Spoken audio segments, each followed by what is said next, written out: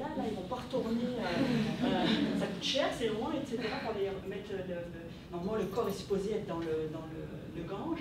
Donc, eux, ils, partent du principe que toute rivière peut être le Gange, et donc ils peuvent mettre les cendres n'importe où pourvu que ce soit une rivière. C'est sacré pareil. Ça, c'est une adaptation métissée. Vous voyez, hein, il y a vraiment un métissage là. On continue. L'adaptation plus concrète, là on a deux extraits. Il est interdit de porter atteinte à la dépouille parce que soit pour une dissection, un prélèvement, du même transplantation, pour les, euh, musulmans, on ne doit pas toucher à la dépouille. Tu pourras étayer là-dessus si tu veux, Rajina aussi. Et là, dans l'autre extrait, le monde n'était pas d'accord, on a essayé de parler avec les autres, on dit écoutez, c'est une crise cardiaque, euh, donc pourquoi vous voulez aller faire des autopsies Nous, dans l'islam, on n'a pas le droit d'enlever les morceaux du corps, etc. Là, ils nous ont dit, ça fait partie de la loi, on n'a pas le choix, on va essayer de respecter le maximum, on va enlever le minimum possible pour qu'on puisse faire l'autopsie, c'est tout. Mais ça fait partie des choses quand même déchirantes pour les musulmans. Voilà. Hein. Puis il y a vraiment l'idée, on n'a pas tout l'extrait de, de, la personne qu'on a interviewée, mais vraiment l'idée de faire accepter et reconnaître ça de la part de la société d'accueil. Entre parenthèses, les thanatologues sont vraiment en train de. Tantôt, je parlais des, des, euh, comme les, institutions comme étant des médiateurs interculturels. Les, thanatologues essaient vraiment de respecter euh, les exigences des rituels pour les musulmans. Euh, là, on le voit pour l'autopsie, c'est pas les thanatologues nécessairement qui font ça, mais pour la. Comment s'appelle les liquides qu'on met dans le corps pour la préservation du corps quand on veut pas qu'ils pourrissent, là, ça porte un Comment? Oui, c'est ça. Et puis pour les musulmans, donc il ne faut pas porter atteinte au corps. Alors les thanatologues, ce qu'ils font, ils font des incisions les moins visibles possibles, le moins visible possible pour essayer de respecter euh, ces euh, exigences-là de la part des musulmans. Donc du côté des professionnels thanatologues, il y a aussi je dirais, une, posture d'ouverture. Ils n'ont pas le choix, parce qu'ils vont en avoir d'autres, hein, pas que des musulmans, une posture d'ouverture par rapport aux demandes des musulmans. Oui Question euh, qui va faire appel en fait, à deux éléments que vous avez présentés dans le, dernier. Euh, par rapport au, au, besoin de voir le corps. Supposons qu'il y a une personne qui est décédée ici et euh, elle a sa famille, disons, en Suisse. Et euh, est-ce que la famille en Suisse va demander à faire revenir le corps ou alors la famille en Suisse va décider de se déplacer ici? Et pour ceux qui sont ici avec la personne décédée, est-ce que pour ne pas vivre par exemple l'élément qu'on vient de présenter, euh, l'autopsie et tout le reste, est-ce qu'il y en a qui décident de rapatrier les, corps? C'est les questions, vraiment vous êtes forts, elles sont, c'est des questions hyper pertinentes autour du rapatriement, puis c'est sûr on le voit davantage avec les musulmans. Euh, et puis, alors, la première, en lien avec le deuxième aspect de, votre question, euh, l'hypothèse euh, autour du choix de lieu de sépulture ici, c'en est une hypothèse avec laquelle on n'est pas nécessairement d'accord, c'est de dire exactement ce que vous dites. Le fait de rapatrier le corps, d'abord ça coûte une fortune, hein, c'est entre 15 et 20 000 dollars. Ça dépend des régions. Ça dépend, en plus, ça dépend des régions, puis de pays destinataires, j'imagine.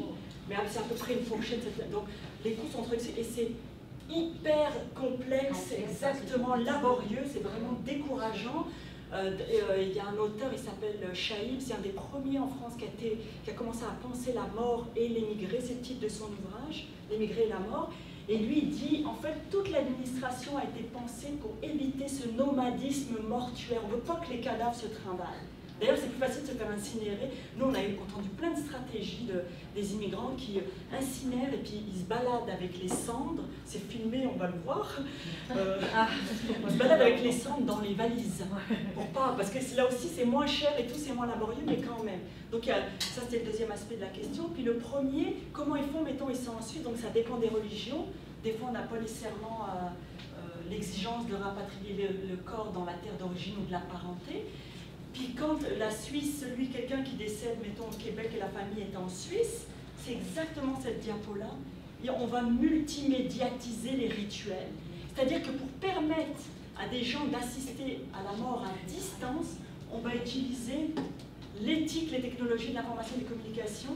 Alors, Skype, on filme, hein, littéralement, on filme un extrait ici, il me demande, je prends des photos, je fais une vidéo pour envoyer à la personne qui est loin, c'est pas naturel pour moi, etc. Ici, moi aussi sur Facebook, j'ai fait avec, euh, avec mes photos un hommage à mon père avec des, phrases en plus, etc. Ça c'est plus après le mort, c'est autour du après la mort. autour du deuil. Il y a comme des pierres tombales sur Facebook. Il y a des auteurs vraiment qui euh, commencent à s'y intéresser. Mais vraiment en lien avec votre question, c'est la multimédiatisation des rituels. On assiste pareil, quitte à utiliser les technologies de l'information. Josiane Le Gars, dans l'ouvrage, a dit on assiste pareil, quitte à utiliser l'éthique, mais ça ne remplace jamais la présence. Mais les gens disent quand même ça m'a aidé, mais j'aurais préféré être là pour y assister. Et puis quand on ne peut pas euh, se déplacer, vous voyez Faisal, on a un extrait qui vient euh, du Sénégal, quand on peut vraiment pas, puis qu'on ne peut même pas utiliser les technologies de l'information pour, euh, pour assister, on va faire des rituels différés. Faisal nous affirme être retourné au Sénégal dès qu'il en a eu les moyens. Au moment du décès, il n'a pas pu.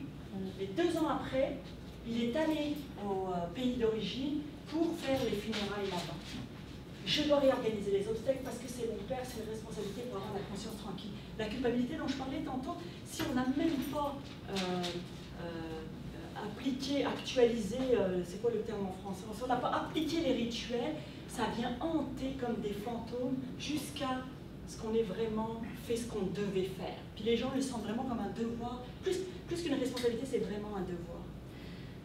Tout ça pour vous dire comment c'est fondamental les rituels funéraires pour les immigrants. Vous voyez dans tes différents extraits. Et puis, ce pas des pratiques rigides, statiques. Tout est dynamique, il y a de la nuance. Même si on a fait un tableau schématique, etc., il y a vraiment un spectre d'attitudes qui va dépendre des trajectoires de migration, de, euh, la durée d'installation dans la société d'accueil, de plein plein de facteurs qu'à un moment donné, on peut aller plus vers une extrémité qu'une autre.